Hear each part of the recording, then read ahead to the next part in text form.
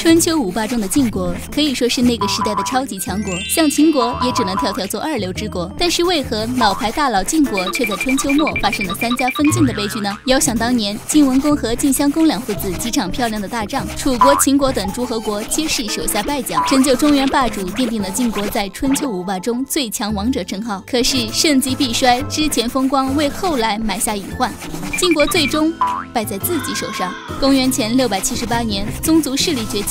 发生了著名的曲沃代议事件，从此晋国国君部被自家亲戚给整怕了，开始打压宗族，倚仗家臣。晋平公以后，晋国范、中行、至韩、赵、魏六齐之间激烈的玩起了大风，晋国已成了砧板上的瓜，坐等被分瓜。最后，公元前四百五十三年，韩、赵、魏三家笑到最后，晋国解体，被一分为三，三家分晋成为了那个时代礼崩乐坏的标志。自此，春秋也进入战国时代。